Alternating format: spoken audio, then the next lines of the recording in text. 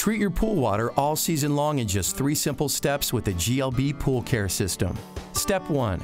To remove organic contaminants such as oils, suntan lotions, and cosmetics from your pool, use GLB's OxyBrite non-chlorine shock oxidizer. Shoxidizer brand shock oxidizer are one of the many shocks and algicides GLB offers. Step 2.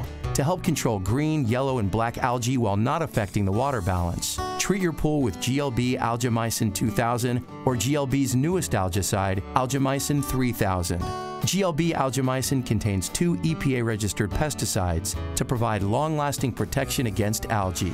In step three, to maintain crystal clear water and ongoing algae prevention, sanitize your water with a GLB chlorinating sanitizer. The GLB brand has several different chlorine sanitizers, including triple tab chlorinating tablets, the triple action chlorinating tablets that sanitize, prevent algae, and clarify pool water. As always, be sure to read all label instructions carefully before using these or other pool chemicals.